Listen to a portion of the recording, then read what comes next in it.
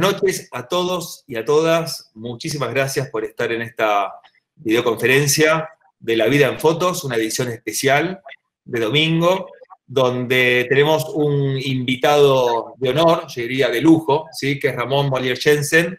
Ramón es, este, un, para mí, para mi criterio, la invitación fue porque yo creo que más allá de que tiene unas fotos increíbles, es un experto en fauna, es un experto en nuestra fauna argentina y las fotografías no solamente nos llenan de, pasión el verlas, sino para mí es uno de los grandes la fotografía defiende, cuida nuestra fauna y, y, bueno, me tomé el atrevimiento de un día invitarlo y acá lo tenemos, así que bueno, Ramón, muchas gracias por estar.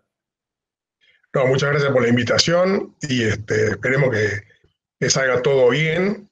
No fue fácil elegir las fotos, pero este, creo que están tan, tan buenas las que voy a mostrar, por lo menos. No, no tengo dudas. A mí me pasó algo increíble, ¿no? Yo dije, bueno, voy a entrar a tu página web para mirar. Es interminable. O sea, el material que tenés es interminable y, y es material de estudio. O sea, vos tenés material que es de estudio. Contame si me equivoco.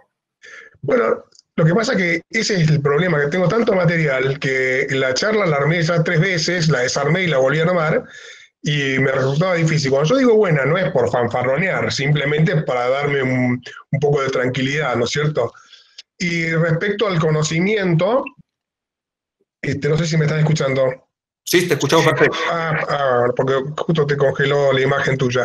Y este, en realidad, eh, siempre fui un apasionado por la observación de las eh, aves eh, nativas, las aves silvestres, y más adelante comencé con las fotografías para poder registrar lo que estaba viendo. Y mm, muchas veces, a nosotros que estamos en el tema de las aves, observamos eh, con la guía en la mano estamos observando una determinada, una determinada especie, eh, hacemos las anotaciones, que tiene ceja corta, el pico es de esta manera, para después corroborar bien en la guía, y nos encontramos que en la guía hay algunas especies que tienen, por ejemplo, son tres o cuatro muy parecidas, y la diferencia justamente es que tiene la mandíbula amarilla o que tiene las plumas de los costados de la cola son color más oscuro y decir, ah, esto no lo vi. Y entonces te queda la duda de cuál era. Entonces empecé a pensar en, comprar una cámara hace muchos años para poder sacar fotos y después con más tranquilidad certificar lo que estaba viendo, ¿no es cierto? Claro, ahí, arranca,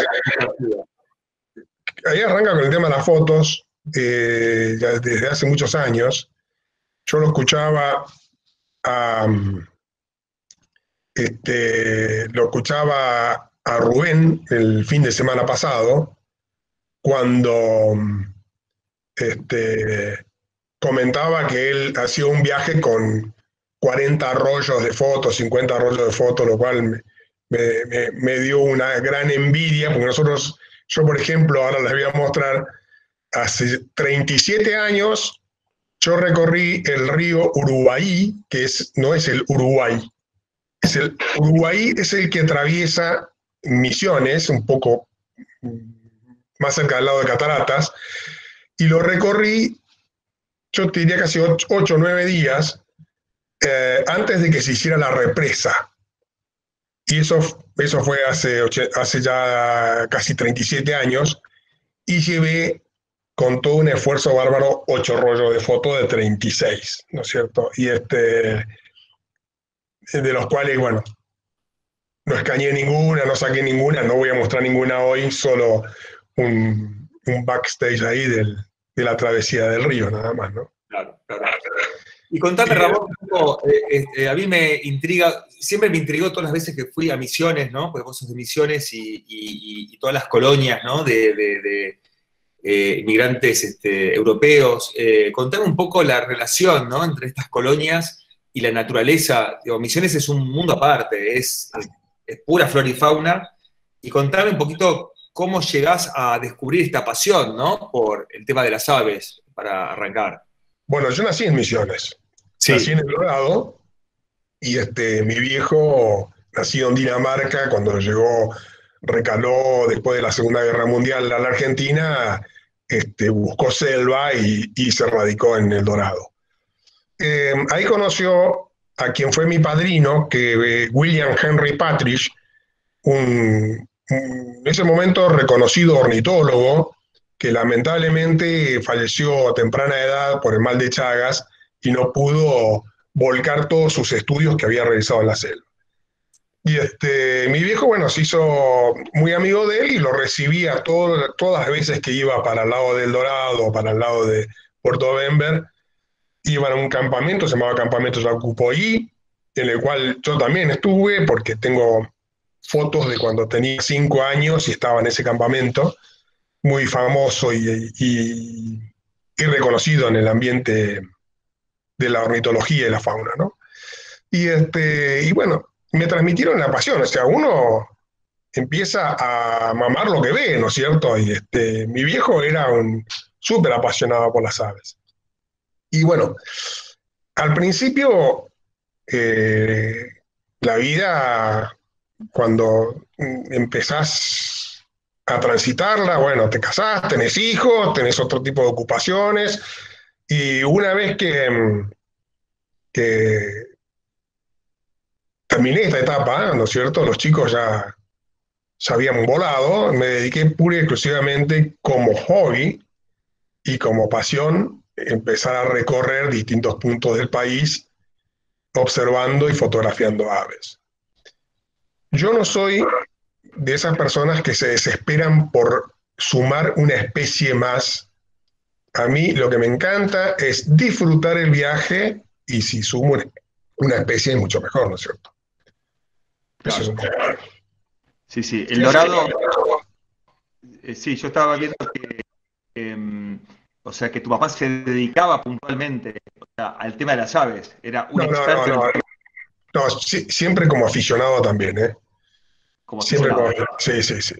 Y este, yo recién ahora hasta hace, hace pocos años que me, estoy dedicando como, como una empresa, ¿no es cierto?, de, de, de safari. De, safari. De safari.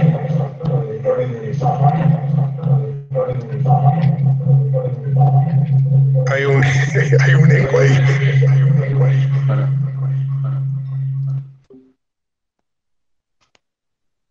Acá tengo, igualmente tengo mi teléfono de, digamos, backup, acá, ¿sí? Tengo mi teléfono de backup porque a veces tenemos estos problemas.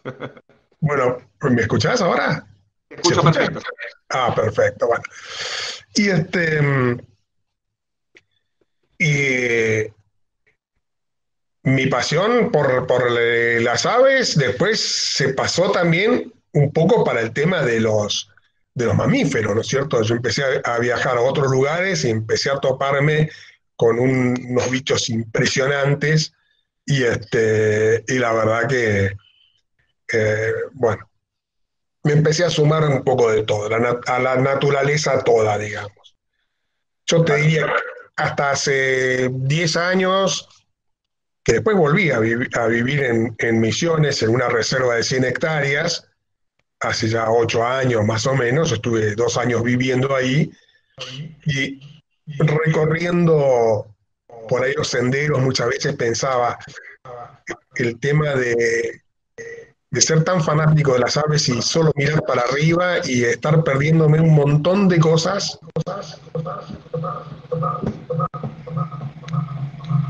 ¿Qué ocurre? ¿Qué ocurre? A ver, ahora. Ahí escucho bien. Ahora sí. Bueno, y este. Y me estaba perdiendo un montón de cosas alrededor, me estaba perdiendo no, solamente fauna, también flora, y es un montón de cosas que, que son, son interesantes. Yo siempre ahí decidí bajar un cambio y empezar a disfrutar de la naturaleza en todo lugar que fui. Yo nunca fui con una lista de decir, bueno, yo voy a tal lugar y quiero ver todas estas especies. Yo nunca armé una lista. yo veía las que veía. Este, obviamente, sí, a veces elegís un destino para ver determinada especie, ¿no es cierto? Eso, eso sí pasa. Impresionante. Eh, el tema de los, eh, del, digamos, yagureté, o sea, yo no he conocido muchos fotógrafos que han fotografiado la cantidad de yagureté que, que pudiste obtener vos y, contanos un poco eh, así, ¿no? Ir directo al grano. ¿Qué, ¿Qué, es lo más importante a tener en cuenta al momento de cuando alguien quiere dedicarse a la fotografía de fauna?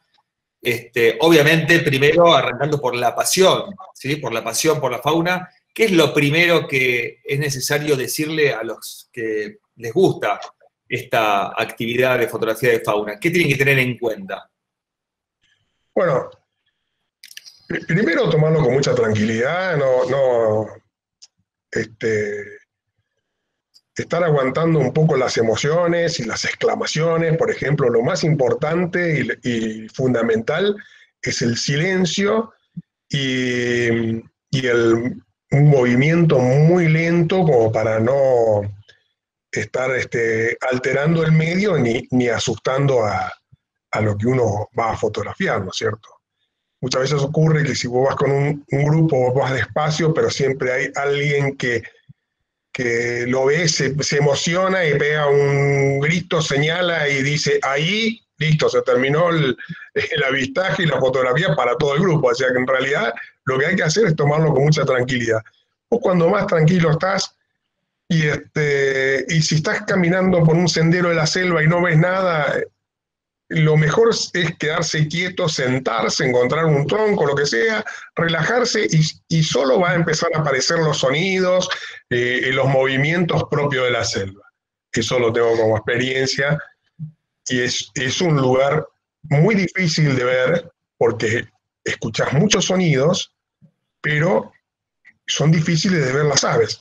Y ahora vamos a ver a través de la fotografía el colorido de las aves. Y es increíble que vos ves un pájaro totalmente naranja y amarillo que parece una llama y no la ves. Y estás hablando del monte que es verde y marrón. Pero es así.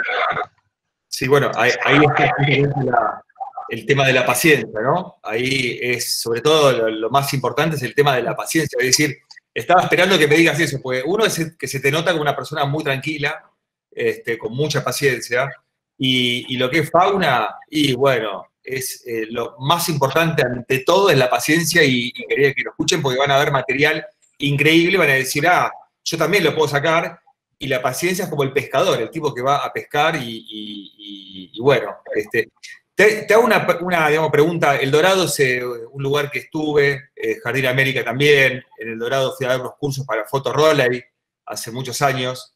Este, todas las fotos que vamos a ver son todas de la. De, son de esa zona puntual o la mayoría de las fotos de aves son las que vamos a ver son de Misiones o también hay fotos de otras provincias? No, hay de todas las. Hay de, todas, hay de todas las, sí.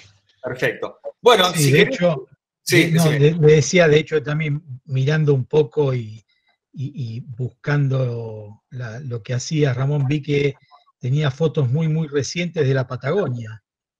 Sí, también. Eh, es un lugar que he ido muy poco, y yo te diría que fui solamente eh, en dos oportunidades a Ushuaia, a Tierra del Fuego, digamos. Y este, y después estuve un tiempo en eh, Puerto Madryn, recorriendo toda esa zona, península. Me falta recorrer toda la Patagonia, que sé y me han comentado que es realmente hermoso. Yo soy más, más bien un bicho de la selva, ¿viste? Siempre agarré para el norte, siempre para el norte, lo que es yunga, lo que es este monte, y, y mucho Ahora a Brasil voy al Mato Grosso, por eso hoy Jonas decía que tenía muchas, muchas fotos de diferentes tipos de fotografías del, tigre americano. Sí, sí, sí pero, es impresionante. Pero es porque yo fui nueve veces. O sea, y, este año se me cortaron eh, cuatro viajes que están anotados para el 2021. Y, este, y así como lo vi el primer día, eh, el, último viaje, el primer avistaje de, este, del Yaguareté, emociona enormemente como si fuera la primera vez. No es que vos te acostumbrás y que te, que te relajás, y, no, es seguir tirándole fotos y que la gente que esté con vos pueda sacar muy, buenas fotos y que nadie se quede con la gana de nada, Ese es el tema. Es Bueno, eh, este, si quieren empezamos a hablar ya con las fotos en pantalla, podemos compartir. te comparto. Sí, sí, compartimos y vamos viendo el material que es increíble. Eh, a mí, yo cuando lo vi me pasó esto que me superó, ¿no? Que me superó es, no hace falta, o sea, no, no, es algo del fotógrafo nada más. Esto es de alguien que sabe mucho y lo noté porque nada, había una experiencia en el, eh, en todo ese material que me pareció increíble. Así que bueno, ahora vamos a ver el material y nos vas a ir contando un, poquito, ¿no? De qué se trata. Yo había, preparado este para la previa, pero la previa ya la pasamos, así que este, esto lo vamos a pasar peor rápidamente.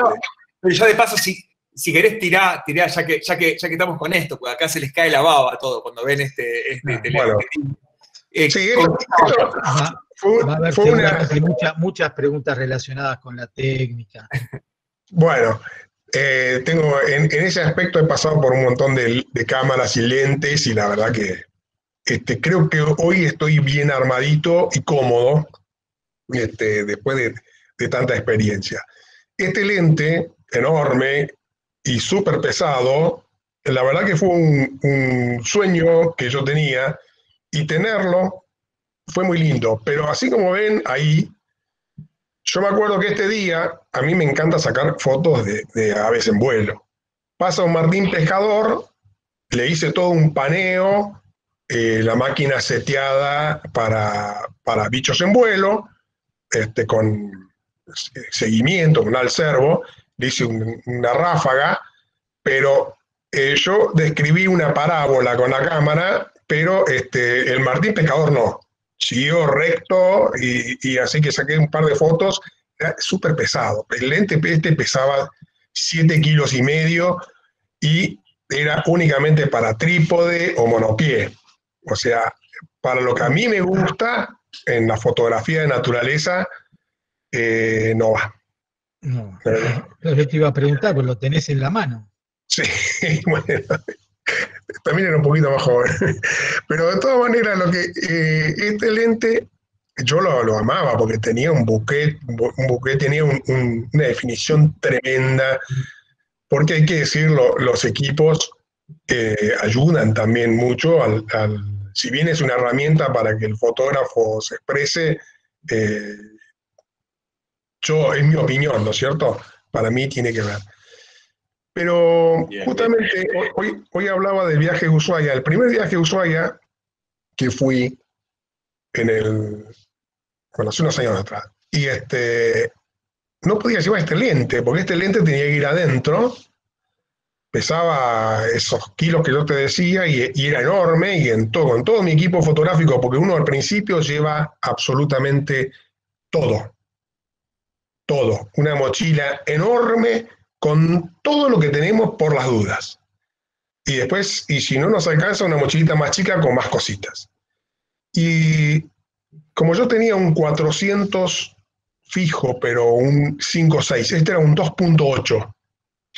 Y yo tenía un 5.6 y opté por dejar este lente en, en, mi casa y viajé con el otro. Y cuando volví, volví con fotos que me conformaron, con fotos que me encantaron. Entonces, este, bueno, lo terminé vendiendo, digamos, ¿no es cierto? No sé si querían hacer alguna pregunta o... No, no, no, yo también, también uso, uso Canon, este, a mí me pasa que por ahí tengo objetivos eh, largos, más cortos y tengo de una gama importante, y sin embargo siempre me quedo utilizándolo más, a mí me, tengo etapas, ¿no? Pero yo también me, entiendo lo que me decís, me pasó con un 85 tengo un 85 1.2 no lo puedo usar, que no, no, no, que hay algo en su velocidad, en su peso, en sus. Y por ahí agarro el 50 1.4. Y, ahí, pero ¿cómo vas a comparar? Y bueno, cada uno se enamora también de esos lentes, del peso. Así que, te entiendo perfectamente, Ramón. Y, bueno, y yo con, el tiempo eh, logré lo que hoy me siento súper cómodo lentes no tan pesados y mucho más versátiles. Esto no, nos olvidemos que es un lente fijo. Es un 400 milímetros fijo.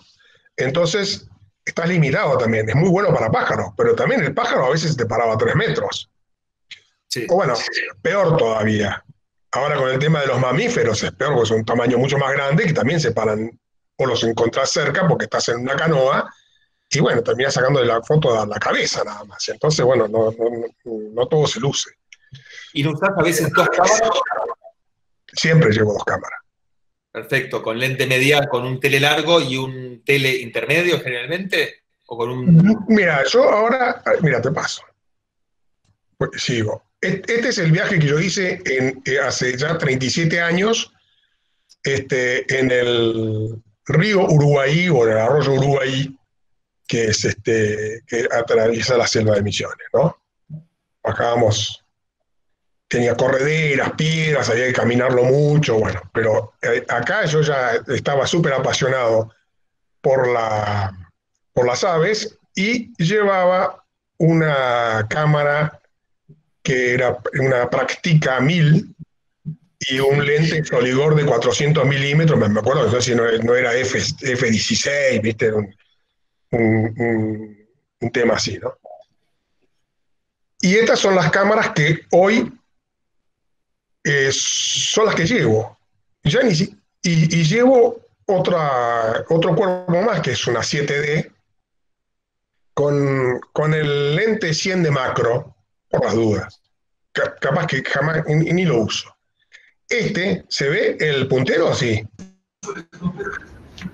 Perdón, se dejó de ver Hay alguien que está compartiendo otra pantalla. Si, si puede moderarlo para volver a la pantalla de, de, Ramón. A ver, Ramón, sí. Yo estoy escuchando todo. Yo, yo, veo, yo, veo, yo veo la pantalla, no sé si ustedes ven la de, Ramón. Ahora vemos la tuya, dejó de compartir el. No, no, la pantalla bueno, ahora lo eh, compartí de vuelta porque alguien metió mano ahí, así que de vuelta poner presentar ahora, Ramón, y presentar como asistente. Momento. Sí, sí. No es fácil para mí, ¿eh? No, no, pero está impecable. A ver. Eh, ahí está. ¿Qué pasó? ¿Ahí, ¿Ahí está compartido? ¿Lo estoy compartiendo o no? No, no, estás vos en la pantalla, Ramón. A ver acá. Ah, ah, ah, ok, ok, ok, ok. Ahí, ahí entendí. Ahora sí. Bueno, arranco de vuelta. ¿Está bien? Perfecto, impecable, impecable. ¿eh? Voy con una ventana.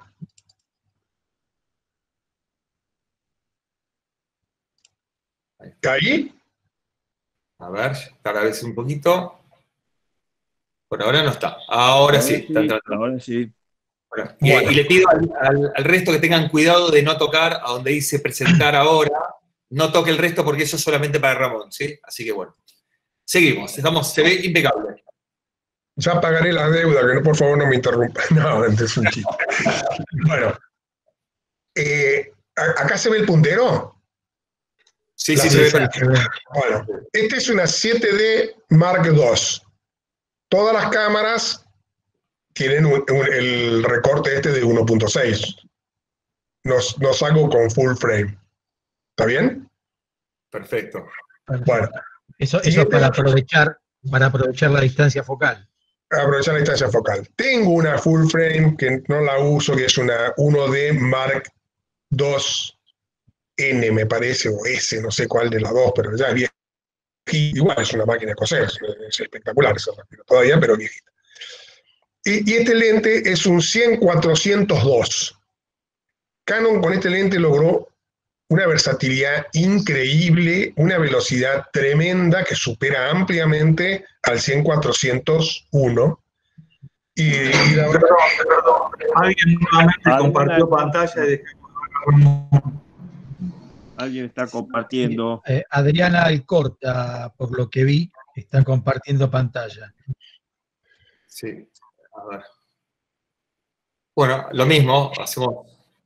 Yo después eh, ahora compartimos una vez más y después cualquier cosita, eh, nada, tengan cuidado de vuelta con eso, si no los tenemos que, digamos, bloquear, ¿sí? Así que, bueno, dale, presentamos una vez más, Ramón, que Creo que se puede anular la presentación de pantalla de otros. Eh, eh, vamos con esto. ¿Ahí lo están viendo ahora? Sí, sí. Perfecto. Bueno, el, lente del 100-402 este realmente es fantástico y además tiene una función de full que vamos a ver en la foto más adelante, que vos podés sacar a una distancia de, 45 centímetros. Y, este, y la verdad es increíble en estos lentes largos. Este es un 100-400 de Canon. Y este es un, una cámara que compré hace poco que es una 90D. Y este lente es un Sigma 150-600. Y la verdad que me, funciona muy bien y esos 200 más en pajaritos chicos ayudan un montón. La verdad que estoy muy conforme con estos equipos y estos normalmente son dos equipos que yo llevo cuando salgo de viaje. Ya no llevo más ni lentilla, ni, ni, toda la cantidad de, cosas que llevaba. Directamente llevo una mochila este, con, esto para, para fauna, ¿no es cierto? Y este. Y bueno, esto pasó. Mm, me siento realmente muy cómodo, soy súper versátil. Eh, este tengo 100 milímetros como mínimo y este tengo 150 como mínimo. Si voy, el, de 150, ¿qué apertura tiene? Eh, ¿5 6? Sí, 5 6. Perfecto. 5 6. O, sí, creo que 5 6. Y este, pero no en todo su rango, ¿eh? creo que tiene 6,3 en 600. ¿eh? Y, pero es un lentazo. La verdad que me recontra sorprendió, me, sorprendió muchísimo. ¿Cuál es la diferencia entre los dos? Este es más rápido y más preciso en, en, algo demasiado rápido, digamos. Pero si yo salgo a fotografiar un día o una tarde, por ejemplo, acá en las sierras, y llevo un solo equipo. Llevo un solo equipo que ahora lo armé con, con este cuerpo y este lente. Y con eso me divierto. Bueno, paso. Eh, ¿Puedo hacer una preguntita? Sí. los cabezales que, que, tenés en la página anterior, en la foto anterior, sí. el Sigma es un, cabezal de video fluido, ¿no? Sí, exactamente. Sí. ¿Y el, otro? El otro es una porquería que, que no lo uso normalmente. Está, quedó acá en la foto. Eh, estoy usando un gimbal ahora. Pero e, esto realmente nunca funcionó porque se vence, se vence. Es, de Manfrotto.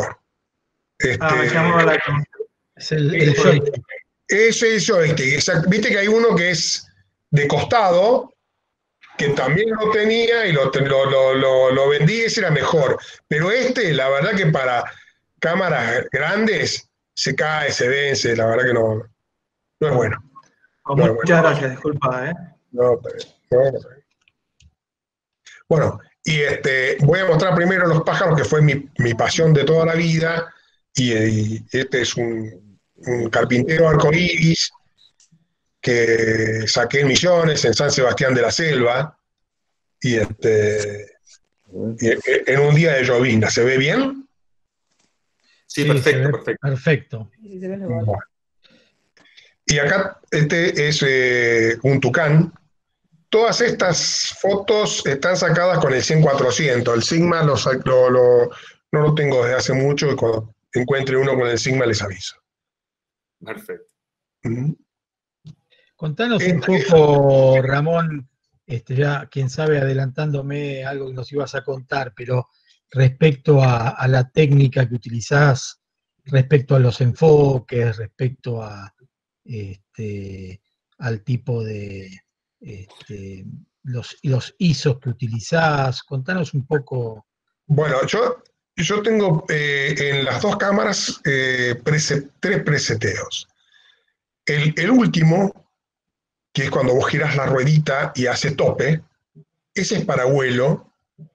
porque cuando yo me doy cuenta que el, ave está por volar, yo automáticamente giro esa ruedita y yo ya lo tengo presentado para vuelo. Eso es el, ISO y, la profundidad de campo, todo eso lo, y, la, velocidad, eso ya lo pruebo ese día y lo seteo de acuerdo a lo que tengo ese día. Y, entonces, este, este, después tengo otro que es para foco puntual, que por ejemplo hacer un foco en la, cara y este adentro del monte, digamos, una cosa así, y ya lo tengo preparado con un ISO más alto. Ok, lo, lo, vas preparando a medida que te vas encontrando con las distintas situaciones. Sí, sí, porque es distinto, pero yo casi toda una vida de, fotografía usé estrictamente el manual, estrictamente manual, manual, manual, absolutamente en todo. Y ahora me estoy sintiendo bastante cómodo con eh, en, otro seteo que tengo que es el AB, ¿no es cierto? Y, la verdad que como no lo uso para el vuelo, entonces no se me va eh, a ese fondo clarito, ¿no es cierto?, que yo tendría que estar corrigiendo, eh, yo ya lo tengo, el preseteado del vuelo es, es, otro, es otra forma, ¿no? Otro tipo de combinación. Para contarles un poco, para los que no tengan Canon, el modo AB es el modo S este, de Nikon y el modo S de Sony, ¿no? Creo que sí. Sí que, sería prioridad. La prioridad al obturador. Exactamente, prioridad al obturador. Bueno, esta foto es de un comedero. De todas maneras, este, este tucán no era de los más mansos. Entonces, cuando está la gente en el horario que se le da de, comida en ese comedero, son muy ariscos y, aparecen muy esporádicamente, si hay otros, otras especies un poco más mansas y qué sé yo, pero cuando uno eh, aprovechas la oportunidad, cuando se fueron todos, te quedas sentadito, esperando, siempre hay un rezagado que aparece y, vos estás sentado, totalmente inmóvil, sos parte del escenario y el bicho ni se preocupa, se pone cerca y logras este tipo de fotos. Y este, este es uno de los pocos pájaros que yo les... Eh, me encanta sacarle de espalda y que no se le vea la cabeza, porque la verdad que no son fotos que yo edito o publico, pero este picaflor realmente es una maravilla, es el picaflor cometa macho, que tiene unos colores que ahora yo lo veo muy clarito acá en esta computadora. Eh, y, eh, Ramón, perdón, esta foto es impresionante el pájaro y la foto. Es impresionante, parece, esto es, es una obra de arte, como la posición y es como una cruz, es impresionante. E, e, esta foto la saqué caminando en, San Luis, en el campo de mi hermana, hasta fin de año creo que era, y ahí estaba con el Sigma, el 150-600, con 600 milímetros, lo vi libando en esta flor de cardo, que es esto es exótico, pero bueno, quedó lindo. Y me fui arrimando y, asegurando algunas fotos, todo, hasta que dejó que me acercara bastante y, logré esta foto. Y la verdad que me encanta porque eh, creo que debe ser una de las pocas especies que, rinden cuando están totalmente de espalda. No de frente creo que no lucen tan bien. Mira. Bueno. Este es un pichón de Urutaú, el que está a punto de abandonar el nido. Y bueno, es un nido, es un poste en el cual eh, los adultos ponen un huevo en un hueco sin, sin, absolutamente nada, lo calzan en un hueco donde está, donde calza el huevo, tienen un solo huevo, nace un solo pichón. Y yo hice todo el seguimiento de esta pareja y, y tardó casi tres meses en irse, en volar, o sea que realmente estos bichos deben ser muy longevos porque crían un solo pichón por año y tarda muchísimo en, que se vaya, ¿no es cierto? Este lo saqué con un lente 100 eh, eh, de macro, macro de, Canon, ¿no? El lente 100, no sé si lo conocen. Sí, sí, es hermoso. Muy, muy cerquita. Bueno, y después, con el, ya hace unos 4 o 5 años atrás, me empecé a apasionar por estos bichos que realmente son increíbles. Y muchos me preguntan cómo hago para, para tenerlo a, a, mi mismo nivel, digamos, a el punto de vista, ¿no es cierto?, de, de, este animal. ¿Lo están, están, viendo las fotos? Sí. estamos, en silencio porque no lo podemos creer. Es impresionante. Porque acá, está, acá eh, estamos en una lancha y, y, en una época seca donde eh, más cuando, cuando hay agua acá realmente tenés el agua, esto lo tapa directamente, ¿ves? las raíces están totalmente desnudas y entonces nosotros estamos navegando relativamente cerca y, y nos ignora. Y acá es donde uno puede realmente, hay una controversia, muchos dicen que el fotógrafo o el turista eh, molesta a, la, naturaleza y a estos bichos en, su hábitat. Y, yo pienso exactamente que es todo lo contrario. Porque en este lugar donde van fotógrafos y turistas de todo el mundo, es una forma de protegerlo, porque hay tantos lentes y tanta, tantos binoculares y tanto movimiento que el cazador furtivo ni se anima a entrar. Entonces, si, uno no tuviera, eh, igual que cualquier reserva argentina, eh, yo he sido encargado de la reserva privada, eh, el área más grande de, de conservación de la provincia de Entre Ríos, y recorriéndola con las cámaras y cuanto más gente va con la foto, son menos los cazadores furtivos. Al principio veía muchos, yo veía muchos, he sacado muchas fotos de cazadores furtivos dentro de la reserva. Y con el tiempo se van corriendo, van a otro lugar. Porque... enganchando un poco, Ramón, con, ese tema. Sí. Este, vi que también, bueno, algunas veces, en algunas entrevistas, hablaste sobre la venta ilegal, de, no, no, de, no de esto, no creo que ninguno vaya a tener en la casa alguno de estos, pero sí los pájaros, ¿no es cierto? Hay mucha venta ilegal. Sí, pero por suerte, por suerte la gente ha creado conciencia en ese aspecto y yo creo que hay cada vez menos pájaros enjaulados. Se ve muchísimo menos.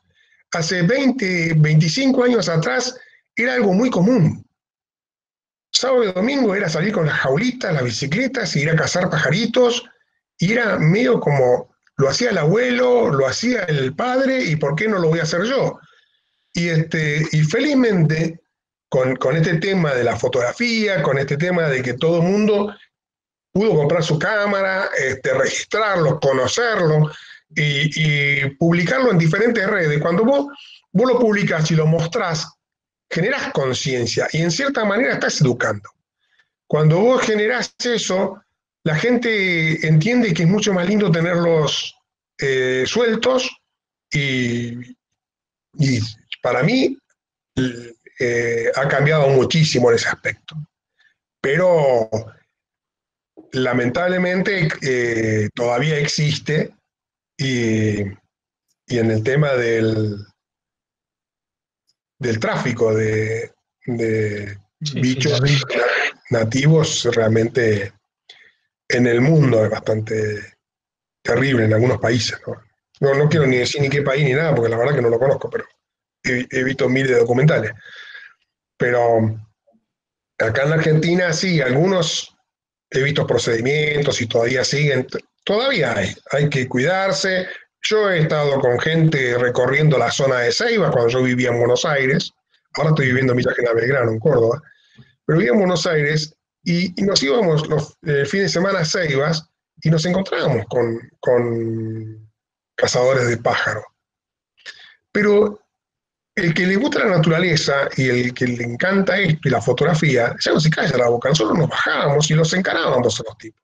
Decíamos, mira, esto lo que estás haciendo es no se puede hacer y este, ya llamamos a, las autoridades, gendarmería, quien sea, los tipos, no, no, no, no, se guardaban todo y se iban. Y bueno, y eh, eso es una forma también de cuidar la, naturaleza y la conservación, eh, recorriendo y, este, y generando esto, ¿no? Sí, sin duda, y aparte supongo que debe haber muchas especies de estas que son, que están en peligro de extinción. Sí, hay mucho. Este, contanos una foto en particular que nos dejó a todos, eh, ahí estamos como mirando y no podemos parar esta, foto es la única que tengo en un cuadro grande, que creo que la vieron ahí de fondo, detrás de las cámaras, porque la verdad que me encantó, me impactó. Este es un macho viejo, que en los dos últimos años que fui no lo vi, y súper nadador, totalmente maltrecho, acá ves la cicatriz en la nariz, tiene la mejilla cortada. Este macho, según me contó un documentalista de, Brasil, estuvimos charlando eh, mucho con este tema, este macho estuvo, era en su momento fue el líder y fue desplazado por otro que después voy a mostrar más adelante. Y van cambiando todos los años, ¿no? Igual hay una gran población y, se superponen muchísimo el territorio de uno y otro. A nosotros eh, estamos en una, en una lancha muy despacito y bueno, y la diferencia es que uno le saca fotos, saca fotos y está nadando para, para allá, mira hacia la costa porque está buscando algún yacaré, porque se alimenta fundamentalmente de yacaré y de carpincho, el, tipo está cazando. Y en un momento dado me mira la cámara y eso es donde uno tiene que estar atento para poder sacar la foto. Impresionante. ¿Se escuchó? Sí. Esto, eh, ¿a dónde es, digamos, puntualmente? ¿Esto es en, digamos, Misiones o Brasil? No, Brasil. Brasil. Mato, Grosso, del norte. Perfecto. Emisiones, emisiones hay, ¿eh? Tenemos. Emisiones hay en, en Salta, en, las yungas. Hablan que quedan 250 individuos. Ojalá que podamos ayudar a protegerlos, porque la verdad que estos sí que son, son este, animales que debemos protegerlo y, y cuidarlo muchísimo. No sé si tendremos la oportunidad alguna vez de generar esto y que generaría muchos ingresos para la protección de este animal. Porque esta zona donde, donde nosotros vamos generan ingresos millonarios y un alto porcentaje va para los estudios de protección de, del, del ¿no? Bueno, lo paso. Ah, bueno, acá este eh, un macho que lo veíamos que venía nadando y habíamos visto este pequeño carpincho eh, escondiéndose y estábamos todos ahí esperando que ocurriera a ver si lo podía cazar. Y bueno, vimos la escena, saltó adentro de un pastizal alto como de, esto acá, que había mm, como un telón acá de pasto, saltó adentro, escuchamos unos chillidos y, y después se le escapó y acá lo atrapa. Y, después nos dio una pena bárbaro porque era chiquito y nos quedó medio como entre qué bueno que lo vimos cazar, pero qué pena que, el, el, carpincho era medio bebé, ¿no? Este, este macho estaba en ese momento con dificultad para caminar, estaba medio rengo en alguna pelea, y, y, en cierta manera uno se conforma con decir, bueno, por lo menos se va a alimentar y se va, se va a curar. ¿no? ¿Se escuchó así? Sí, sí, perfecto. Y acá es donde lo agarra y se lo lleva. Fíjense lo que el tamaño de este animal tiene un peso tremendo, ¿no? Y este. Y uno. El yacaré también tiene el mismo. Bueno, esto es la naturaleza misma. O sea, uno no tiene que luchar, uno no tiene que hinchar para nadie. Es la sensación que a uno le produce nada más. La famosa supervivencia. Claro, es este mismo animal. Este es en meses más adelante, y este, también un, macho que también tuvo un, reinado bastante corto, que fue que se lo sacó al, al, viejito de la foto de hoy. Pero uno lo ve caminar así, eh, porque, porque nadan muchísimo, nadan muchísimo, y cuando llegan a una playa, se suben, caminan y se vuelven a, a meter en el agua y nadan. Se sienten mucho más cómodos nadando que caminando por el, por el costado buscando eh, su alimento. Bueno, no, no, quise poner todas las fotos del jaguarete, no terminamos más, si tenemos un par acá.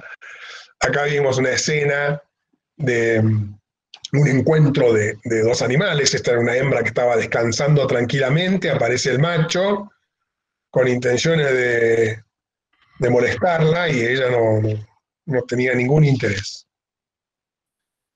Y bueno, y uno logra este tipo de imágenes, tiene unos dientes impresionantes.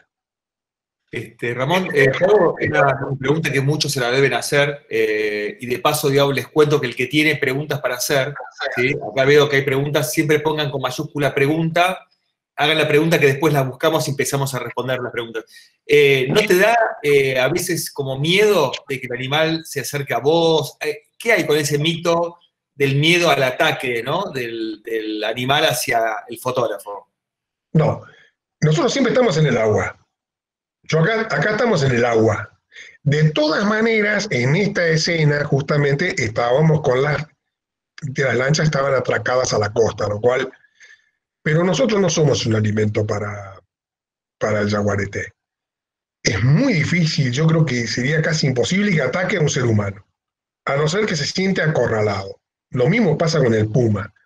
La gente tiene miedo porque son animales muy grandes, feroces, pero, eh, yo he observado un detalle, por ejemplo, de cuando uno está esperando a, uno de estos animales que está descansando, vamos a suponer que está descansando acá en la playa, y no hace nada más que mover un poco las orejas porque se espanta los tábanos y qué sé yo, por ahí levanta un poco la cabeza, la vuelve a bajar, y uno a veces se queda, los que tienen o tenemos paciencia, una hora esperando a ver qué va a hacer, porque estamos adelante de un animal imponente.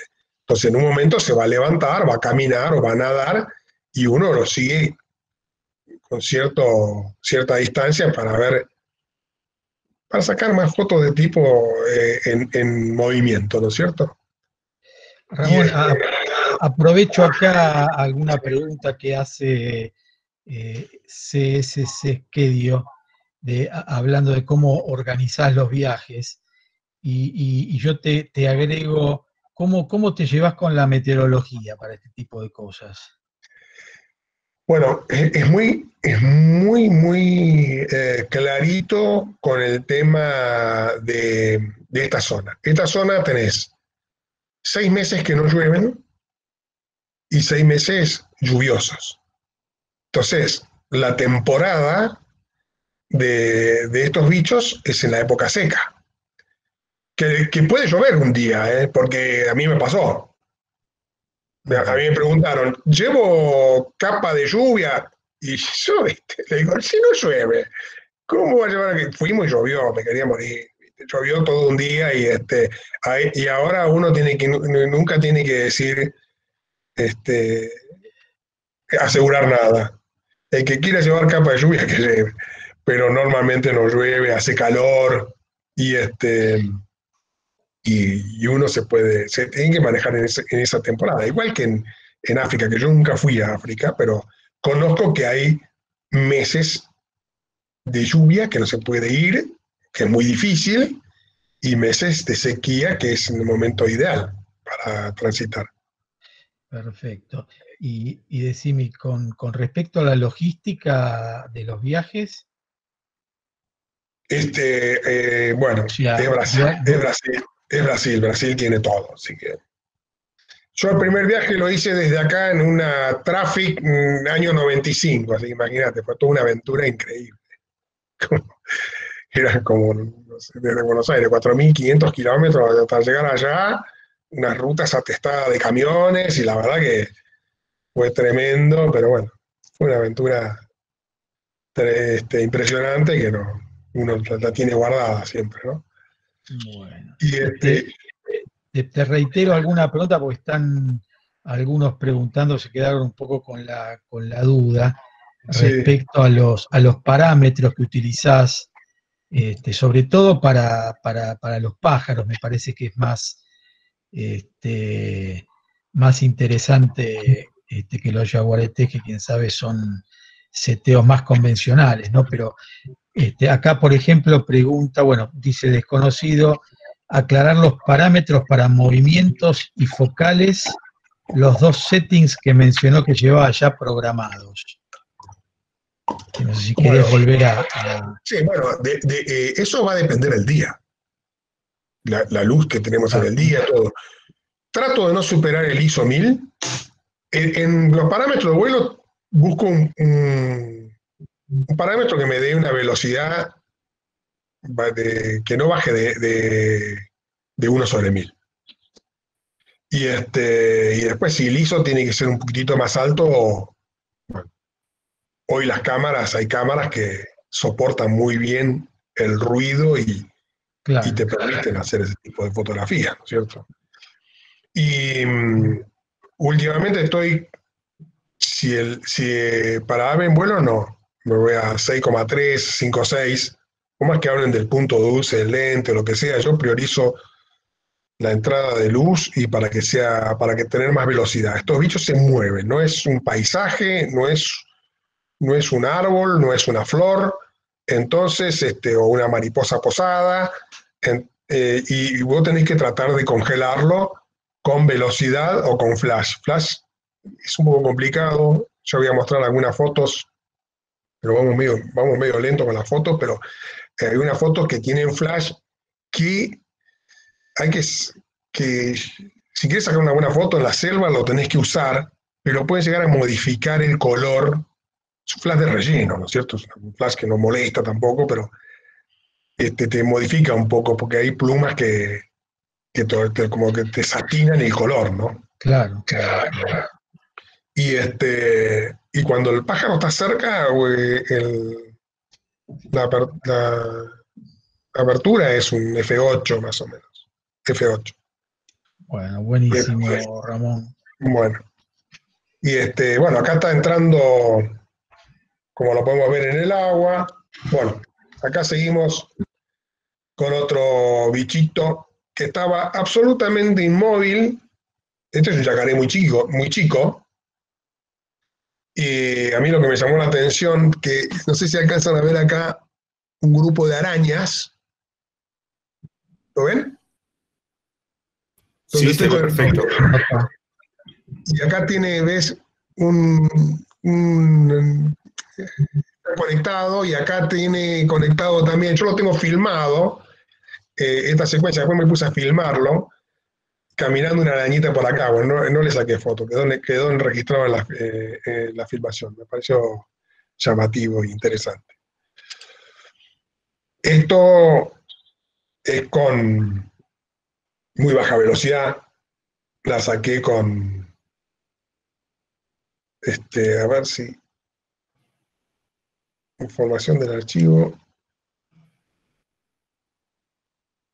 acá está uno en 160, tenía 5 la, apertura y 3200 de ISO, sin flash. Y el, lente, que era el 100-400, lo tenía en 278 milímetros. impecable, ¿no?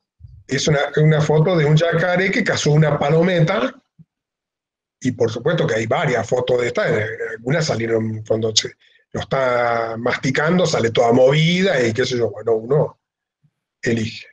Yo siempre recomiendo, por más que, por más que hay muchos que dicen, no, yo no saco en ráfaga porque la ráfaga, qué sé yo, viste, porque son muchos maestros, este, yo recomiendo que si vos pagás un viaje y el viaje te sale caro y vos tenés semejante escena, este, tenés que tirarle unas ráfagas y...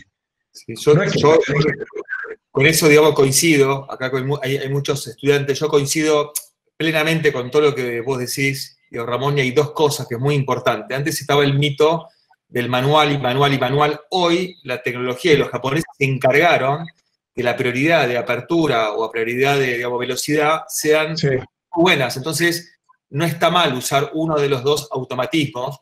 Y las ráfagas, por supuesto, estos viajes, yo que me dediqué muchos años a fotografía de viajes, eh, antes no había ráfaga porque no, porque no tenías los motores tan rápidos como ahora. La ráfaga, claro, fundamental. Y úsenlos, sáquense los mitos y escuchen al que sabe, ¿no? Y Ramón está diciendo algo que es muy importante. Hoy, hoy las máquinas, claro, las máquinas que tengo yo sacan 10 fotos por segundo.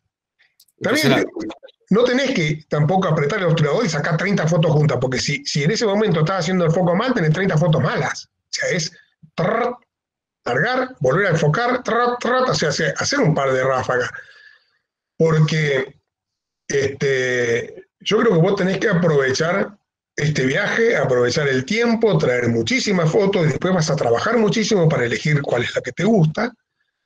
Pero este, aquel que, que camina con, pensando en que va a sacar dos fotos y que va a sacar 15 minutos a la tarde y 15 minutos al amanecer, porque es su mejor luz, todo eso, yo, yo no me la creo y este, cada uno que haga lo, que quiera, yo no lo hago, yo saco fotos constantemente.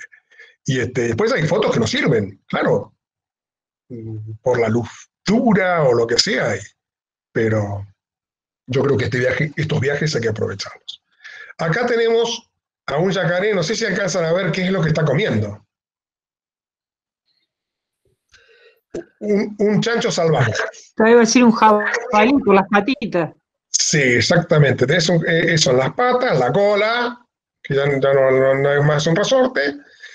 Este, nosotros veníamos en un camión, en, una camioneta safari, digamos, y cruzamos una piara de chanchos y, y seguidamente llegamos a un charco y donde afuera del charco estaba este yacaré enorme masticándose uno de, estos cerditos. Y, y no, vi, no vi la escena de cuando la atrapó, pero sí cuando, cuando estaba en este momento, ¿no es cierto? Uno, uno enseguida piensa que se arrimaron a tomar agua en, en la época seca hay pocos charcos y hace mucho calor y entonces este, y en esos charcos los reyes del lugar son estos, estos bichos, yacaré. Bueno, este es en, un sendero, caminando, vimos un, grupo de monos, este es un mono caíballo, justo en unas ramas acá de, de una palmera se agarra y me mira como, como curioso y sorprendido, ¿no? Estos son, estos, en Formosa, estos son monitos de noche, el miliquiná, es una especie em, que es nocturna.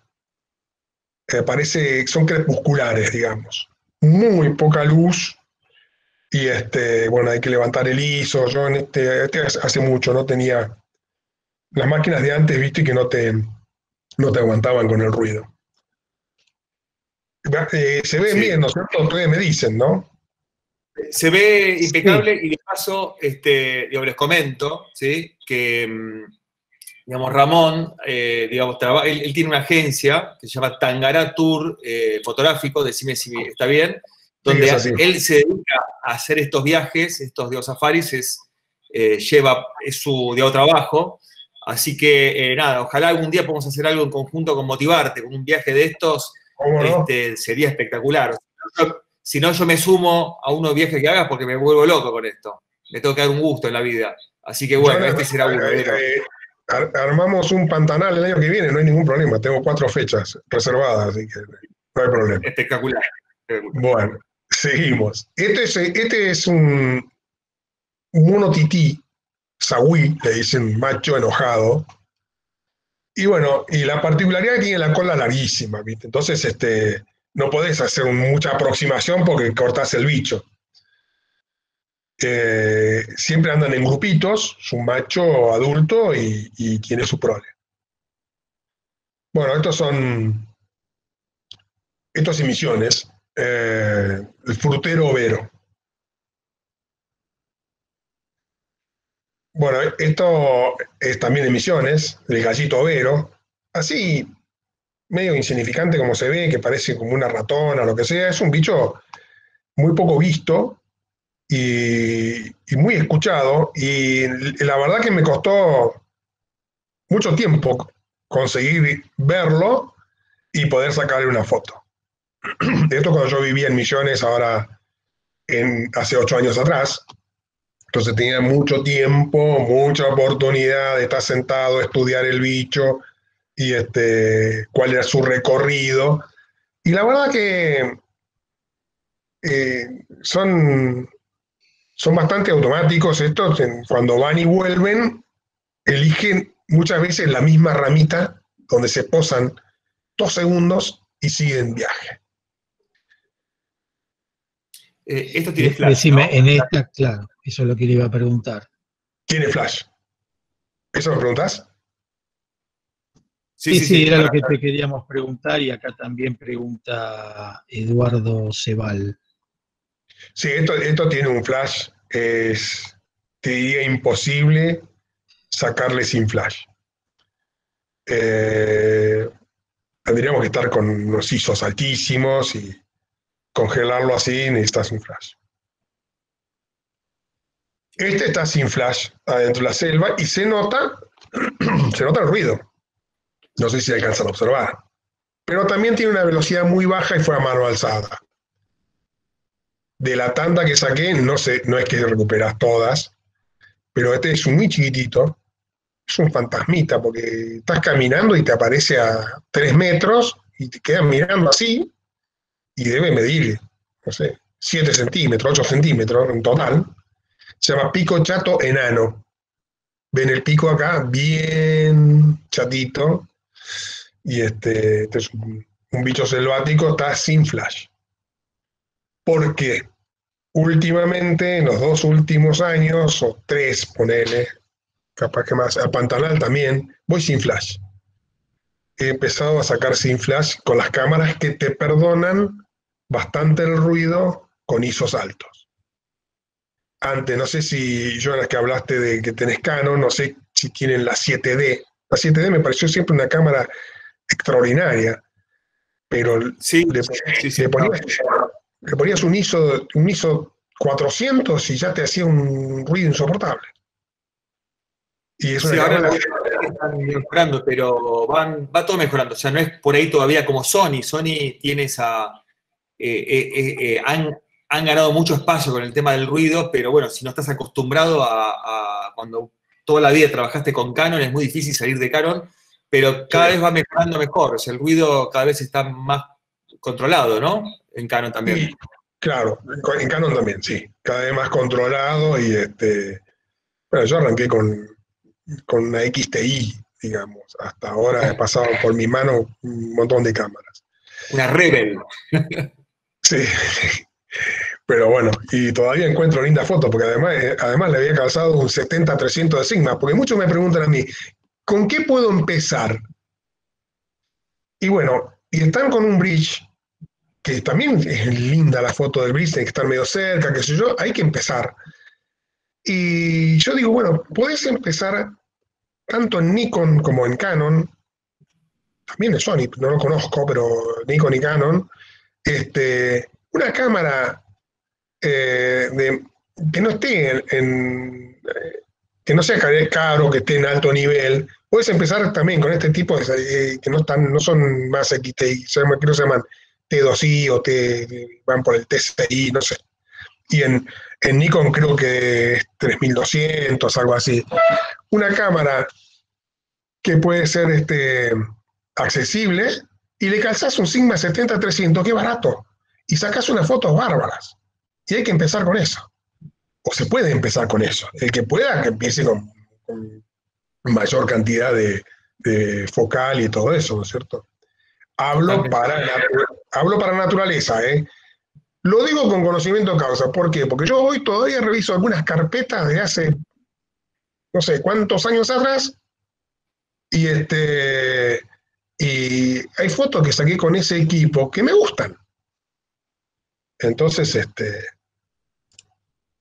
Bueno, claro, lo que está diciendo Ramón es que eh, si tienen que elegir entre cámara y objetivos, lentes, eh, elijan siempre lentes. Y por ahí no arrancar con lentes tan caros porque si no se le va a pasar, de la vida diciendo, bueno, el día que tenga estos lentes increíbles, arranco. Y en realidad hay que arrancar con desde abajo y de a poquito ir mejorando, ¿no? Pero está muy bien lo que está diciendo Ramón, es de, es de mucha humildad eso y coincido, tienen los Tamron, los Sigma, los, los Vivitar, hay un montón de marcas, este, y no se falta comprar la mejor cámara del mundo, pueden comprar un modelo básico con lentes eh, que no hace falta que sean originales y arrancar. Siempre hablando en naturaleza y todo. Así que me pareció genial el, aporte que hiciste recién. Bueno, bueno, me, coincido completamente. Este, este es un, un, bicho selvático también, se, llama Tangara alcalde de Misiones, y un sonido muy particular, un macho. La verdad que me costó, tengo muy pocas fotos de, de, este, bueno, rescaté esta que está comiendo un fruto de, de un, no sé bien qué será esto, pero me parece que es como un pequeño cactus, ¿no? Bueno, seguimos con los mamíferos. Este es un, también un mono caíballo, este, alimentándose. Esto leí, por ahí, leí por ahí, Ramón, que viste algunas especies este, muy, muy raras de ser vistas en Argentina. Bueno, yo, yo encontré una nueva especie para la Argentina que se incorporó, se incorporó en, la, en la lista de la bifauna argentina, pero no es una especie que no existía en el mundo.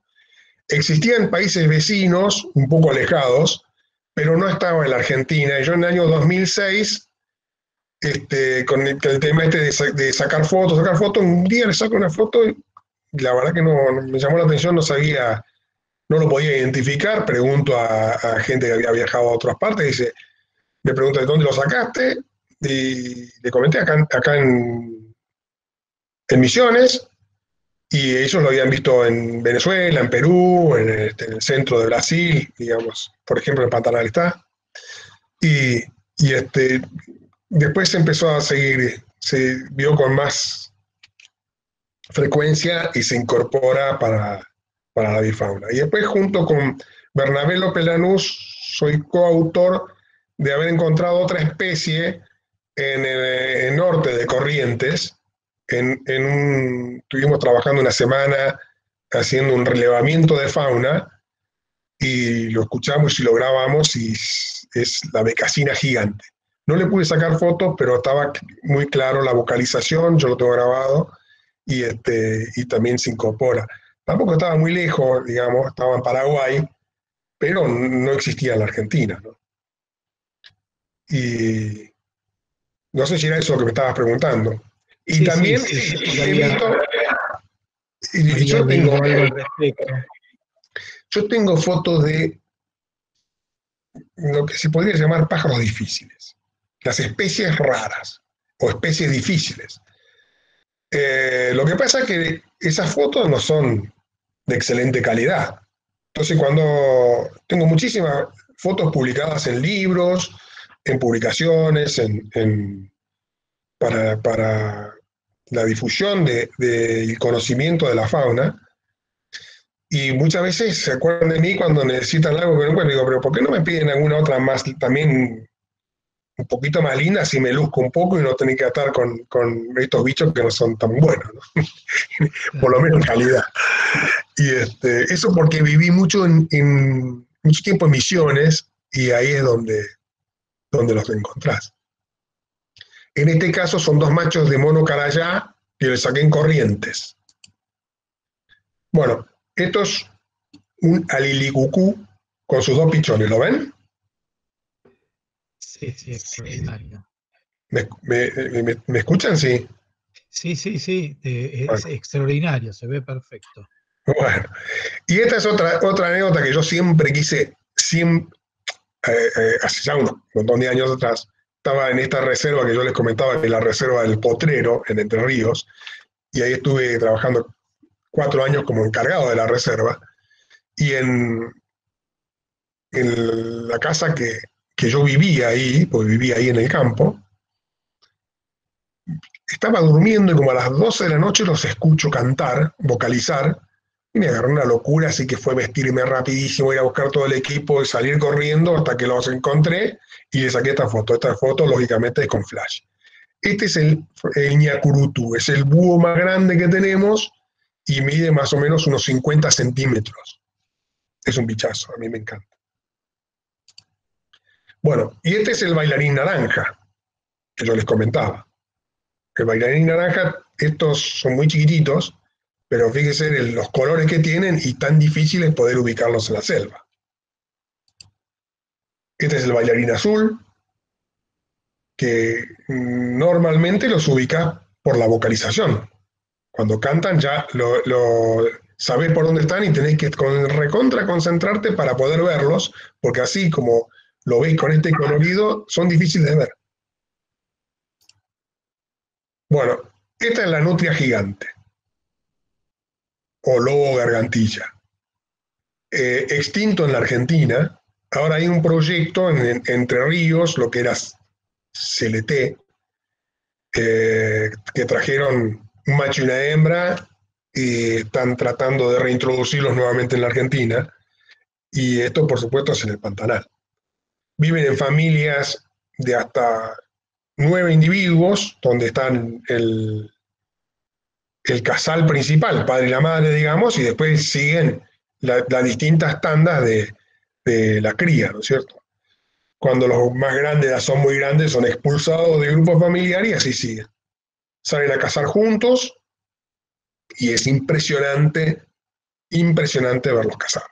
Se sumergen y no hay vez que salgan sin un, un pescado. En este caso se está comiendo no sé si alcanzan a ver acá, es una vieja del agua, ya le comió la trompa, pero el bicho todavía está vivo, pero bueno, como dijimos, la naturaleza es la naturaleza y no. Y se lo comen, se lo comen todo. Espina, aleta, hueso, no queda absolutamente nada. Acá Alejandro Delía pregunta si se puede acceder a la reserva de Entre Ríos. Obviamente imagino que no en este momento, pero Claro, yo estoy, desvinculado con, la reserva, debería comunicarse.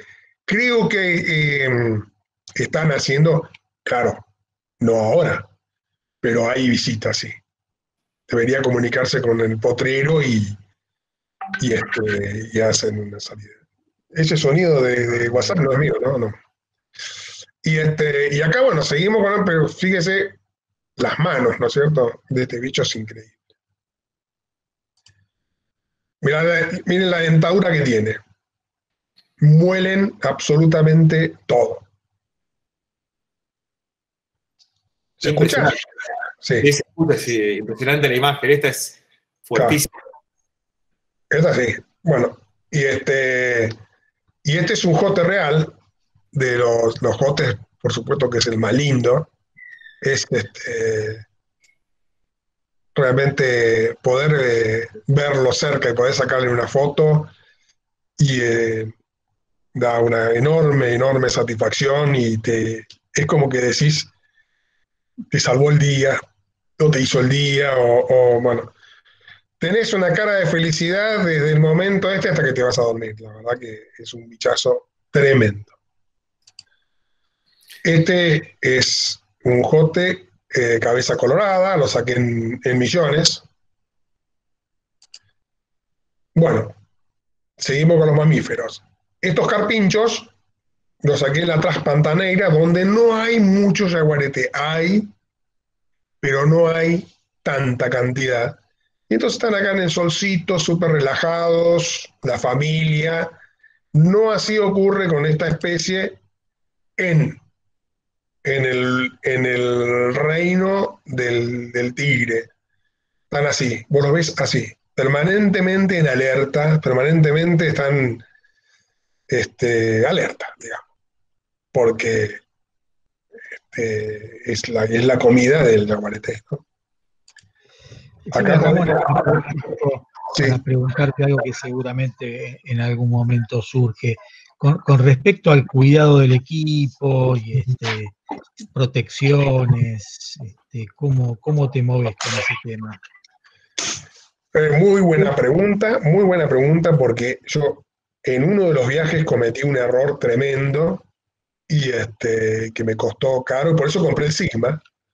Y em, por comodidad yo lo ponía en el piso de la lancha y en momentos cuando se recibe por ahí por señas o qué sé yo, eh, se sabe de, algún bicho cerca, se, se imprime velocidad y vos venís en esas, esas lanchas de aluminio que vibran y yo dejaba mi equipo abajo de, en los pies y el, lente se me desarmó, te digo. Y entonces lo que hay que hacer es llevar una mochila donde va calzado perfectamente el equipo cuando uno no lo tiene en la mano. Eso es el, cuidado que vos tenés que tener, los golpes. Y este, ahora tengo los equipos perfectamente funcionando muy bien, ¿no? Pero la verdad que en un viaje que te ocurra eso y todavía te faltan cuatro días, este, te quieres matar. los equipos, el cuidado que hay que tener es la caída, digamos, los golpes, las vibraciones. Sí, sí, más, más tal vez que la, que la limpieza. Sí, no, la limpieza. El, problema que, que la limpieza, el problema son los, lentes, los lentes que tienen zoom. Claro. Antes, si se largó a llovinar, no hay que entrarlo al zoom inmediatamente porque tenés dos o tres gotitas de agua ahí. Hay que secarlo inmediatamente. Una vez que lo secas, sí lo metes y antes de, meterlo hay que limpiarlo. Hay que tratar de limpiarlo. De todas maneras, no, no te salvas de que se ensucien. Este, pero son, la verdad que son lentes súper super, este, fieles. Por ahí ves alguna mota de polvo o algo y no, no interfiere en la foto. Este, Ramón, tengo dos preguntas que seguramente van a, van a estar en algún momento, ya me adelanto. Una es este, si en algún momento cuando querés atraer algún ave o algún animal, ponen alguna comida, alguna fruta, algo para decir, bueno, tienen que venir, o, en general esperás que vengan los animales por su cuenta? Bueno, está bien. Eh, eh, también buena pregunta, porque tengo más adelante lo que pasa que estamos eh, este, muy entretenidos con esto. Hay varios tipos de fotografía de naturaleza o de pájaros, no de naturaleza. Y una de las fotos para las aves es justamente tener un comedero en algún lugar. Muchas posadas y muchos lodges lo tienen, porque atraen a, los pájaros y el, turista eh, los ve, se, saca fotos con cámaras o con celulares o lo que sea, pero los tiene ahí cerquitas y los podés disfrutar. Por ejemplo, yo acá en mi casa tengo una galería y tengo un cerco que está a, a tres metros y medio, cuatro metros, tres metros y medio, y yo pongo todos los días una media naranja, una media manzana y tengo pájaros todos los días. Ya no le saco más fotos, ya le saqué tantas fotos, pero es una forma. Eh, muy divertido en el principio cuando logras y logras una foto excelente, porque elegís el fondo, entonces tenés un fondo desenfocado, a ver, voy a buscar alguna. Este, ahora voy a seguir respondiendo a esa. En esta están viendo ustedes que son dos urutaú, ¿no es cierto? Sobre un palo. Difícil de verlo. Bueno, e, este es el pico y la cabeza de uno, y este es el ojo, y este es el, la cabeza del otro y el ojo, están enfrentados. Y esta la cola, y esta la cola porque parecía un búho, parecía un búho en realidad. Son, dos, es, genial. Son dos pájaros. Y acá está el resultado. La madre y el hijo. ¿No es cierto? adoptan, adoptan esta posición todo el día y vos ves que tienen el, parece que el ojo cerrado, pero tienen el ojo abierto, están ahí, te están pispeando de, de, pero la verdad que son el rey del mimetismo. Eligen el tronco de su mismo color. Bueno, esto es un, un tapir y con esto tengo una anécdota también muy interesante. Yo quería verlo y, un amigo en Misión, Emilio White, sabía dónde, dónde estaban y fuimos en una canoa. Hicimos una espera como de siete horas en la margen del frente, lo escuchábamos, estaba en el barrero, comiendo barro y acá se nota. Se nota todo el manchado de barro, hasta que en un momento salió y se vino como para el lado de la canoa. En esta, fue una emoción, la verdad que fue tremendo ver semejante bicho venir encima de uno. Bueno, voy a, voy a buscar alguna foto de posadero, a ver.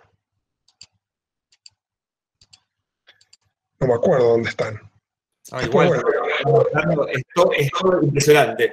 Este, eh, y generalmente cuando haces un viaje, cuando te fotos en lugar, ¿cuántos días te vas? ¿Cuánto, ¿Cuánto tiempo es el que necesitas para lograr buenos resultados. Son 5 días, una semana, 15 días. es salir un, viernes a la noche y volver el, el, otro domingo a la noche. Toda la semana con, o sea, 9, 10 días. Perfecto. Y este, ahí sacas. Esta foto es una foto de posadero.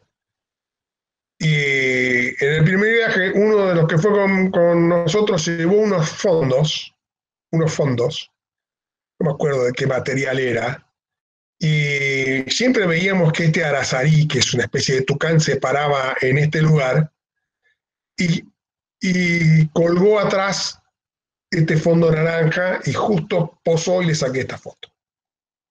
Esta es una foto de posadero. Una foto que puede salir muy linda, muy llamativa, todo, a mí, particularmente a mí, me resulta muy aburrido. A mí me gusta como un registro, yo voy a un posadero, le saco como un registro, un tucán, una determinada especie, y después me encanta salir a, de cacería fotográfica. Bueno, este es una cacería fotográfica. Este bicho es un. Tiene leyendas, leyendas, es, este, es mítico, es el Yassi Yateré. Este, después si lo quieren googlear, qué sé yo, eh, ponen Yassi o Yassi Yateré y van a, van a empezar a, leer las leyendas de la selva de este, de este bicho. Es súper enigmático. Esto, por ejemplo, no es de posadero. Esto estamos en, en una canoa bueno, ahí ya, me paré otra vez con las fotos y pasé un montón, pero ¿vamos bien o, qué te parece, Jonas? No, no, perfecto, está impecable. Bueno, este, este bicho, por ejemplo, por eso muchas veces vos salís a sacar fotos, pero tenés que conocer un poco y, y vos sabés que esta especie que no la tenemos en Argentina tiene un vuelo, un color en el vuelo que es espectacular. Entonces tenés que estar muy, muy atento para cuando vuela sacarle la foto y, poder sacarle todo este despliegue de, colores en las alas. Yo como solamente veo mi pantalla, no sé si, si se está viendo y me están escuchando. Sí, te escuchamos perfecto. Se ve perfecto. Lo que te puedo decir es que eh, en general cuando se suman tantas personas, eh, se van como de algo bajando y acá no se están bajando, es decir, tuvimos el pico máximo, fue de 151 personas y estamos en 146, quiere decir que el interés es ah, enorme. Bueno, me alegro mucho. Y eh, este es el Martín Pescador Enano. Recién se ha visto en la Argentina y ahora este a principios de año y, hace poco escuché de unos reportes de que lo vieron en los esteros de Libera. Muy, muy, muy escaso. Es mucho más chiquito que el Martín Pescador Chico. Si ustedes miran las patitas de acá, las uñitas realmente es chiquito y este, este bicho el día que le saqué esta foto también fue, fue mi día y me fui a dormir súper feliz, pero por su antes me tomé un par de cerveza para festejar. Realmente es una especie espectacular para mí. Para muchos no le dice nada. Este, este es un martín pescador grande, hembra, un momento que pescó. Este es un martín pescador mediano, también pescado. Este es un martín pescador grande macho que está en un puente de la traspantanera y bueno, se le fue la mano un poco con el tamaño del, pescado, porque esto es una pequeña tararira y después, este, pero igual se lo comen. ¿eh? Esto es una, una anaconda amarilla o sucurí.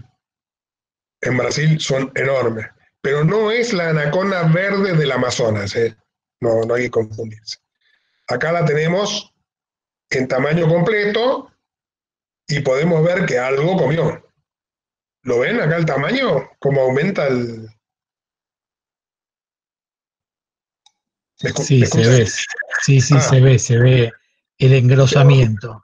Sí, tengo miedo que se, se corte.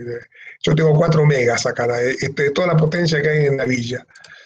Acá Ramón, Héctor Pedemonte dice que pasaste una foto de un ave grande en vuelo con un bicho entre las patas. Este, Quién sabe, la tenés. Perdón, eh, la desprolijidad. Esto es un tucán en vuelo. Estos son, este es otro tucán, tucán pico verde. Esto saqué en Misiones. Ahora es de la ruta. Porque también hay, también hay que, que tener en cuenta que nosotros tenemos, que yo le llamo el Parque Nacional de las Banquinas porque vos venís en una ruta y, no hay que desaprovechar la oportunidad de, con, mucha prudencia, ¿no es cierto?, de estar mirando algunos bichos. Este es otro tucán, pasó justo, justo por encima mío. Eh, este es un pecaril aviado, también lo saqué en Misiones, en el Parque Provincial Forester. Este es la misma especie en el Pantanal, nosotros estamos estacionados y pasa muy nervioso, levantó todas las crines. Este decís, bueno, no está en vuelo. Este está posado en un poste y está, había cazado una culebra. Bárbaro. ah, este debe ser. Este, este de acá. Claro. ¿Qué tiene? Este, este es eh, nosotros lo tenemos en la Argentina, es la hembra del caracolero. Y en la Argentina le sacamos fotos con el caracol y todo cuando lo caza. Y me encantó esta foto porque en Brasil este se llama eh, cangrejero. No, no, no, es cangrejero, pero ver, no, me va a salir el nombre caramullero o algo así. Y justo lo, lo saco ya con un cangrejo. ¿Lo ven?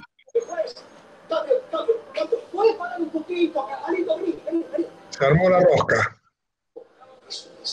Pero la, pero la foto se ve perfectamente y es una maravilla. ¿La ven? Bueno.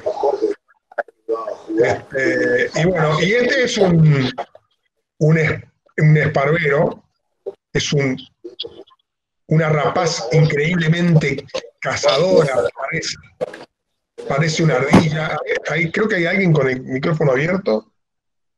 Sí, es Marinari Graciela. Marinari, por favor. ahí está. Marinari, habría que bajar el mic. Eh, mutealo. Ay, perdón. no hay problema, gracias. Perdón. Vamos, Graciela, vamos, Graciela, apagaste el micrófono, querida. Un besito, un besito. Es una eh, conocida mía de, la infancia. Espectacular. Este, de, venado, de venado tuerto. Divina. Y bueno, este es un, un, esparvero, como decía, es un, bicho súper cazador. La verdad que se mete entre los árboles, entre las ramas, y se va metiendo, parece una ardilla. Y acá había cazado una paloma, que es una paloma manchada.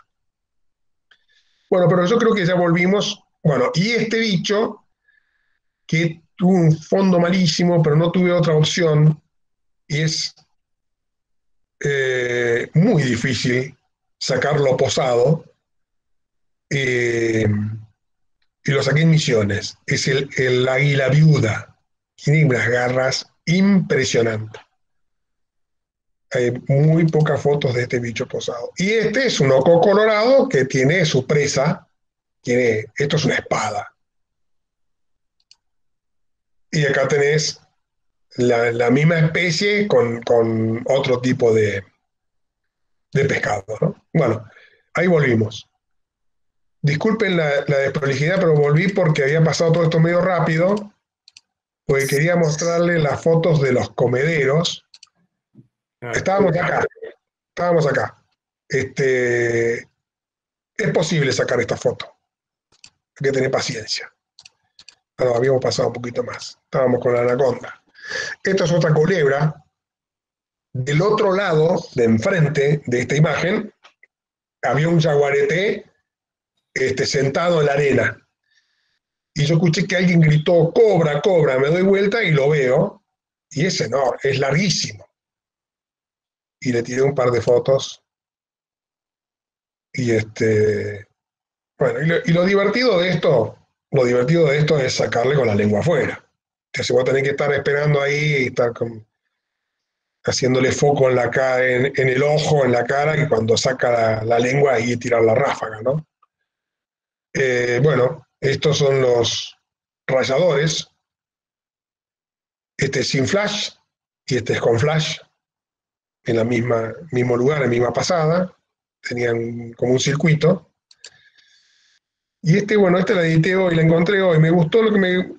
Eh, tampoco es una gran foto, pero me, divirtió el, hecho de que estaba el yacaré este acá abajo y quedó en el reflejo del, del rayador. Estos pájaros que tienen este pico asimétrico, van con, este más largo sumergido, hacen esta raya, por eso se llama rayador, y cuando tocan un, algo, un pececito, automáticamente cierran el otro pico y lo atrapan. ¿Se escucha? No, se escucha, pero yo no podemos, te soy sincero, porque yo lo conozco a la audiencia, y es como podemos creer el. Hay otro, existe otro mundo, y lo estás mostrando otro mundo. Es decir, esto es el mundo que no, no estamos acostumbrados a ver y es increíble ¿eh? como vos. Bueno, la verdad que me alegro mucho. Me alegro mucho. Y este, Se nota, Ramón, absolutamente tu pasión. Bueno, y, gracias. Este, este, lógicamente, lo saqué dentro de un height en Misiones.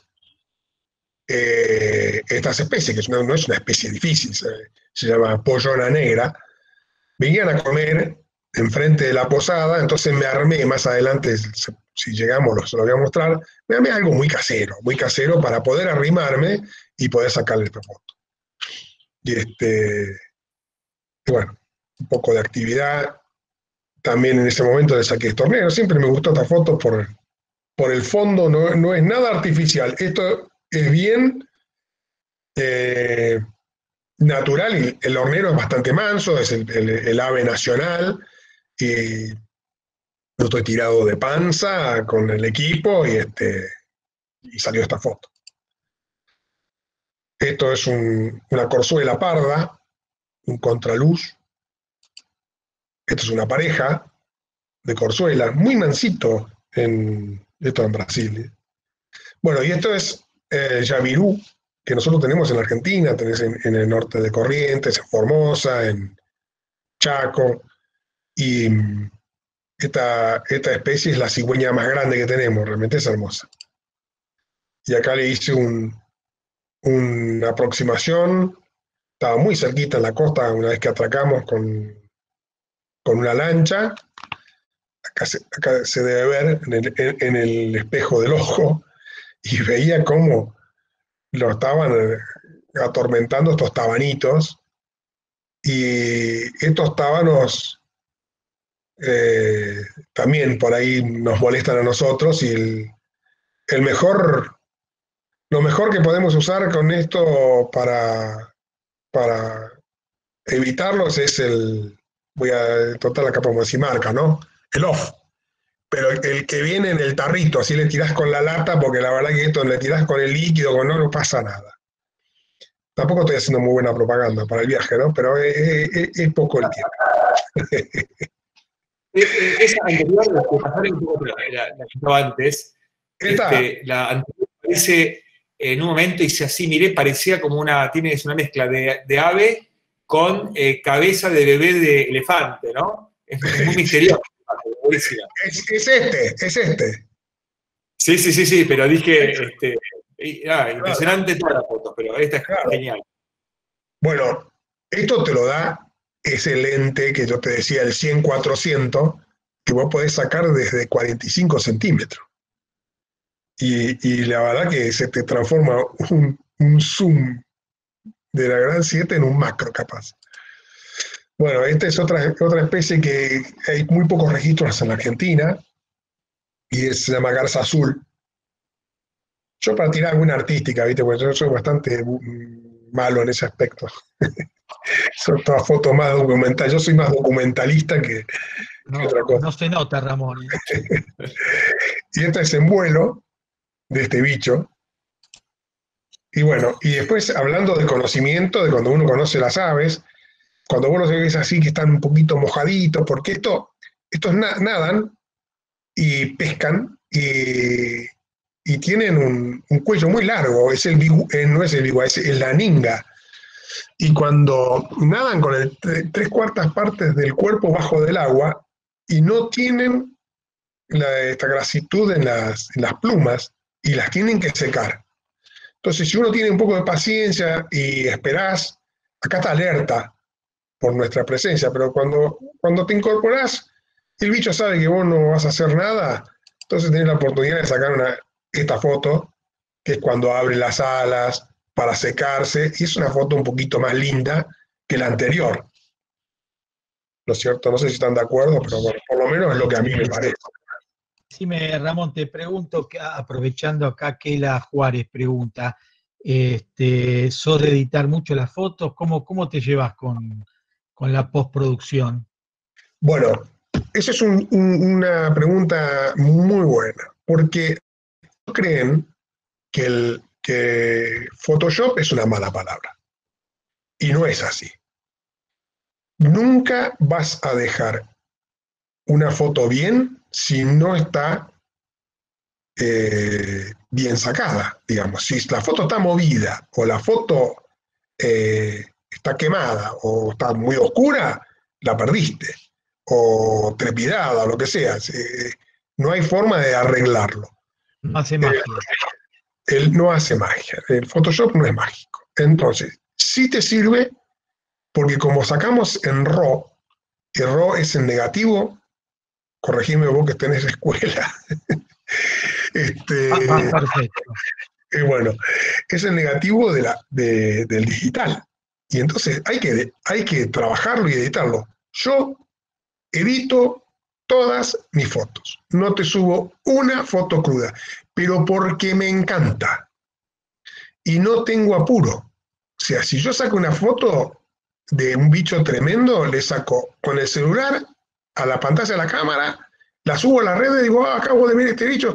Y a veces tiene más eh, comentario que cuando la, edito 10 puntos y la vuelvo a subir y ya, viste, perdió el encanto. Pero la verdad que sí. De hecho, eh, de hecho, no. Este, antiguamente también se editaban las fotos, no, no, no con, con la potencia de hoy, pero. Claro, no, no, no con tantos parámetros y valores y, y, hoy, viste, los, programas cada vez más nuevos te traen cada vez más herramientas que, que, bueno, pero es porque a mí realmente me encanta editar la foto y soy en ese aspecto bastante jeringa y no, no, no, no. No es, no es porque yo quiera mostrar una mejor foto o nada, simplemente amo lo que hago. Y aparte este, realmente las mejora. Claro, hoy, hoy vi un posteo de alguien, no puedo acordar quién es ni nada, pero que eh, no era de acá, me parece. Em, dos retratos. O sea, digamos, un retrato, dos fotos, antes y después. Y él pone ocho horas de trabajo. Si vos la mirás un poco eh, rápidamente, tiene una pequeña variación, una cosa con la otra, pero realmente tiene un trabajo espectacular. Y, bueno, y trabajó ocho horas y me parece perfecto. A mí me parece espectacular. Bueno, este, este bicho es el aguará guazú. Es un cánido que nosotros tenemos en la Argentina y es un bicho altísimo. Las patas largas, acá mucho no se ve porque, porque está metido en el pastizal y realmente es increíble. Este siempre lo quise ver y eh, en octubre del año pasado viajé a, Brasil con un amigo, este, Gabriel Belloc, a recorrer dos parques nacionales para incorporarlos en la agenda de, de Fotográfico. Y, en uno de esos parques vimos tres. Y estaban tan así como los ves.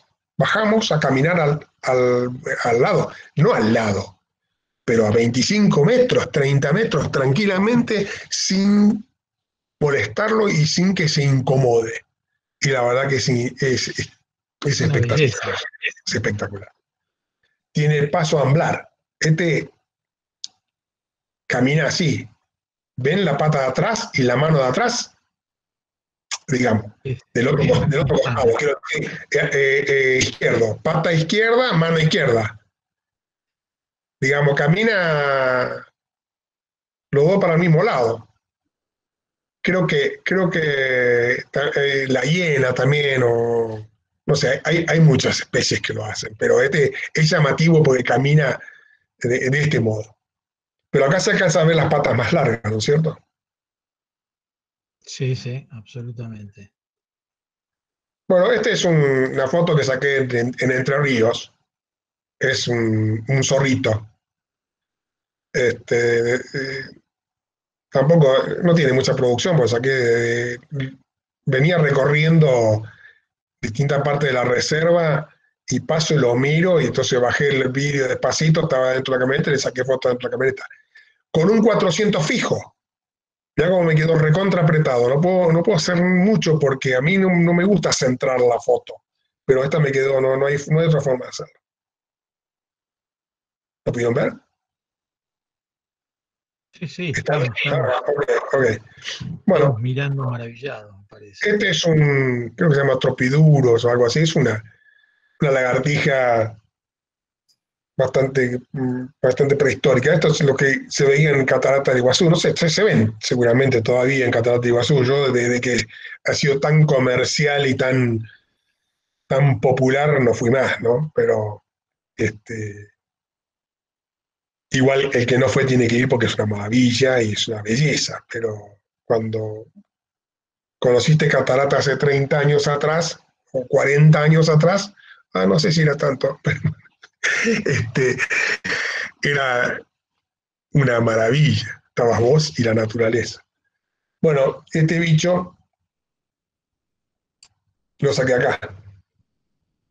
Y acá estamos hablando del lente este 100-400, que te lente 100-400 con, con una tecla que le pones en full, vuelvo a decir que lo sacas muy cerquita. ¿Lo ven? Sí, sí, perfecto, perfecto. Bueno, esto es una especie en peligro de extinción en la Argentina y es endémica de la mata atlántica. Y lo podemos ver en Misiones, únicamente en Misiones, se ven justamente en Cataratas del Iguazú, en, el Parque Nacional Iguazú, cataratas a, última hora y, después en el Parque Provincial Uruguay. Es un tipo de monte, se llama Yacutinga. Es una hermosura. Bueno, y esto que también tenemos en la Argentina, lo tenemos en, yo lo he visto de lejos en Formosa, pero esto es en el Pantanal es el muitú, también es una, pava, ¿no? Esta es la hembra, es muy, muy particular, la crestita con los rulos y es, es hermosísima. Esta foto, bueno, me gustó como documento, pues yo por eso hoy les hablaba de que yo soy un más documentalista que, que, fotógrafo, digamos, y me gusta. Y está la, hembra y el macho, la pareja en la misma foto. ¿Sigo? Bueno, eh, el matico. La pregunta, la pregunta, ¿cómo te manejas con el balance blanco? Pero bueno, un poco respondiste cuando hablabas que sacas en, en. Sí, eh, en, en RAW puedes sacar en cualquier lado, pero la verdad no me complico demasiado la vida y lo pongo en automático. Pero los que, los que van a aprender a la escuela tienen que atender lo que dicen los que saben. Así que ustedes les, explicarán cómo corresponde, con, cuánto hay que ponerlos. Y, pero yo no me, al sacar en RAW no me complico demasiado la vida. Te hago, una pregunta, digo, Ramón, con respecto al RAW. Viste que el RAW lo que tiene que nada, es el archivo crudo y después se puede retocar. Eh, a veces eh, no te pasa que cargas demasiado que después para bajar todo el material y, es decir, es la ventaja que tiene, pero bueno, eh, el JPG es mucho más fácil, más simple, podemos llegar a perder mucha calidad. A veces te pasó que dijiste, bueno, saco algunas en RAW y la mayoría después en JPG cuando tenés mucho material para fotografiar? ¿O siempre sacás RAW en todos los casos? Todos los casos. Perfecto. Me traigo mucho, muchos gigas de fotos. Y después es como decís vos, tarda enorme. Yo tengo tres notebooks, una que es bastante rápida y eh, muchos discos externos y los discos externos de 4 teras y, los voy almacenando. Hay un programita que lo uso que es muy rápido. Y ese, ese programita te lee, el robot te lee todos, este, eh, digamos, el JPG, ROT, y te lo lees rápidamente. No te muestra la gran definición de la foto, pero la vas pasando muy rápido. Y ahí haces una preselección. Yo, por ejemplo, las movidas, las cortadas, las que no me gustan directamente, tengo un dedo en, en delete y otra en enter y la otra que la voy pasando, taca, taca, taca, taca, taca. En la primera pasada borro por ahí la mitad. ¿No es cierto? Y después hago una selección más fina. Y eh, es un programa que se baja de internet, es gratuito y, y muy liviano. Siempre lo recomiendo, te lee todo. Bueno. ¿Te acordás del nombre? Sí. Fast, como de rápido. F-A-S-T. ¿Está bien? Y Stone, digamos. piedra. lo, suelo usar a veces. Ahora, lo voy a poner acá para que, para que quede. Bueno, y, también es, es importante porque vos agarrás, la estás mirando y haces un, clic y se, aumenta el tamaño y vos vas recorriendo distintas partes. De, y si vos corres para este lado, te aparecen los parámetros con los que vos sacaste. También la podrías editar, pero no, la edito con eso. ¿No es cierto? Bueno. Eh, yo aprovecho mientras tanto porque nos queda un ratito más para no abusar de, tu tiempo. Yo estoy colocando en este momento un link que es de algunas pantallas que capturé para que tengan como recuerdo y quien quiera, digamos, subir a sus redes sociales este, con los arrobas, tanto los nuestros como los de, de Ramón. Así que les copié ahí eh, para que tengan a mano la, la, carpeta. Yo en un rato voy a seguir subiendo. Si alguno hizo capturas de pantalla y quiere compartir y subir en, esta, en este archivo que se los mandé, se los dejo para que vayan subiendo material y todos podamos compartir esta experiencia increíble en las redes sociales. Así que, dale, y tenemos un ratito más. Digamos, no, sé qué nos podría quedar, nos podemos quedar acá. Fuimos claro. Este, bueno, este es, este es, el pájaro que, que yo encontré nuevo para la Argentina. Lógicamente que esta no fue la foto que yo saqué en ese momento, ¿no? Esta la saqué en Brasil, pero este es el fueguero oscuro este, este misma, misma especie. Eh, ¿Este es un pájaro eh, autóctono, digamos, brasilero, o es, un, es de la región? No, no, eh, este pájaro es, nativo, viste que los, bichos no saben de frontera, no estoy diciendo nada, nada nuevo, pues, pues, bastante trillado, pero ¿por qué ingresó a, la Argentina? Argentina yo creo que es el lugar donde mayor cantidad de selva nos queda y lamentablemente en los países vecinos han este, desmontado tanto y han, está todo tan agrícola y este bicho es más de capuera, no es de tanto de selva. Entonces se, ha venido de, donde estaba, ¿no? No sé si respondí un poco. Este, así pasa con, con muchas especies que están pasando. Este es el venado, venado de las pampas. Viene pasando medio rapidito, porque si no, cuando vos me digas chao, me, me, apretás el botón rojo y yo me voy. ¿eh? Y este es el, eh, el biguá, pescando. Y también había como cinco de estos. Acá me mandé una que, bueno, no, me gusta mucho, pero ese yo, tiene un poco de dinámica. Y este, bueno, es una cascabel. Hoy hablaba, hoy hablaba de que, que esperábamos que saque la lengua y, que saca la lengua, y acá está la cascabel, es una cascabel muy joven. Acá tenemos una culebra verde. Esta es una culebra eh, negra y amarilla. Esos son los nombres comunes, ¿no? ¿Y cómo se sacan estas fotos? Y estas fotos las sacas así. Tirado de panza y la, y, la sacas en, en, esta, en esta distancia. Este, Ramón, ¿necesitas un conteo de cuántas fotos tenés de, estos bichos? No. Porque realmente eh, para vos debe ser común, natural y normal, pero nosotros estamos, estamos impactados por la cantidad de fauna y la, al margen de la calidad de las fotos que son increíbles, tenés... Porque a mí es que me apasiona, me encanta, la verdad que me encanta y este, veo un bicho y le... Y así sea la misma especie que la saqué, el año pasado, me prendo como si fuera una nueva, ¿no es cierto?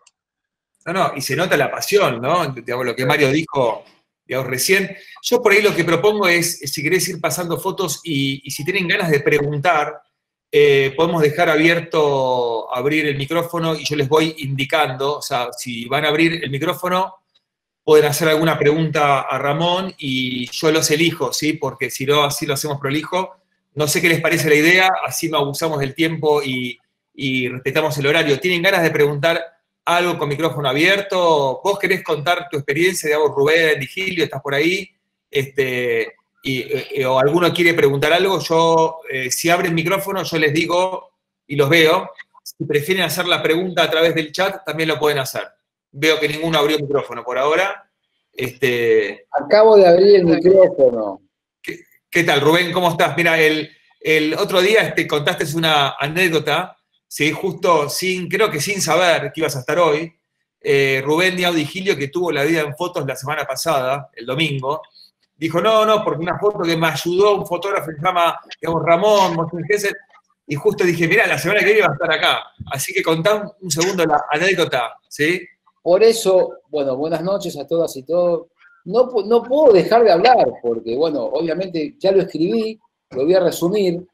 Ramón dando cátedra, fotógrafo excelente, documentalista. La verdad, Ramón, es un placer verte eh, a la distancia, ¿no?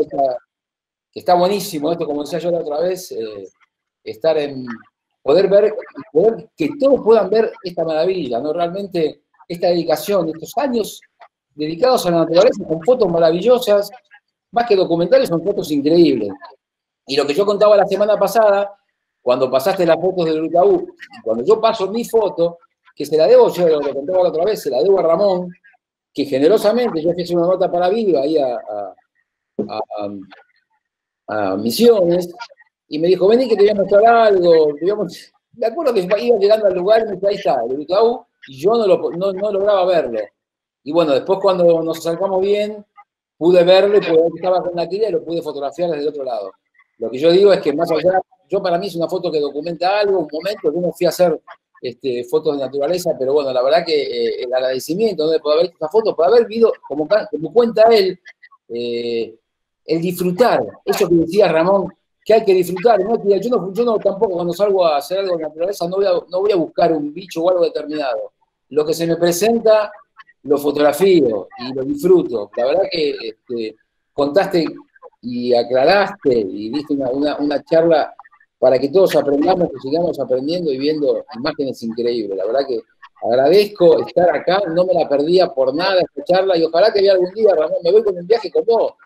Yo me voy más pesado, yo me voy con un lente más pesado, un poco hay una polémica con los lentes, ¿no? Pero realmente este, todo lo que habló, todo lo que dijiste es, muy válido, es realmente para, aprender y para llevarlo a cabo, ¿no? Para que todos aprendamos, ¿no? No solamente lo que recién empieza.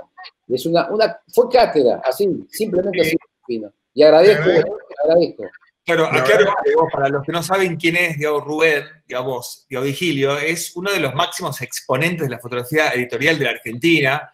Los últimos 20 años, por decirlo de una manera, todo lo que vieron en, en, Viva, lo editorial, la mayoría de los trabajos impactantes son de Rubén Vigilio. O sea, está hablando un maestro de la fotografía a otro maestro. Así que esto me parece de una humildad increíble y me encanta que sucedan estas cosas en estos ciclos de videoconferencias, ¿no? Lo celebro.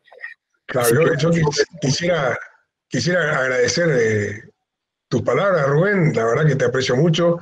Te conocí hace muchísimos años en el centro de interpretación en, en Mar Chiquita. Mar, Chiquita, en Buenos Aires.